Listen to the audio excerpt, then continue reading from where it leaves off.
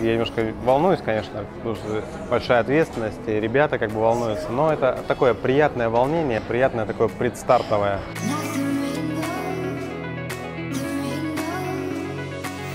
Мы назвали этот ужин «Тестилогия». Мне очень нравятся м, языки ягненка. А, Мы, по сути, для ресторанной истории, для этого ужина, я это блюдо скреатировал. У ребят э, горят глаза, это самое главное. Ребята хотят э, познавать, они не боятся работы, очень важно. Они хотят впитывать, впитывать, впитывать максимально.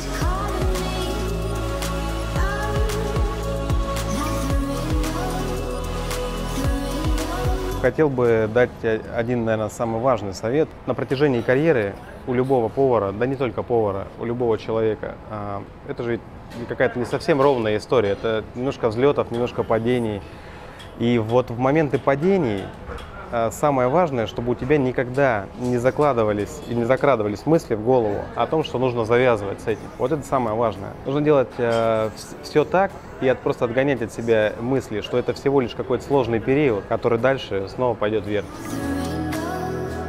Ресторанная концепция, ресторанная история, она реально уникальная и прикольная. А, Мы под большим впечатлением. Я считаю, что тот уровень, который сейчас в Красноярске задан э, школой, высшей школой гастрономического искусства, это тот уровень, которым может гордиться действительно весь город и вся наша страна.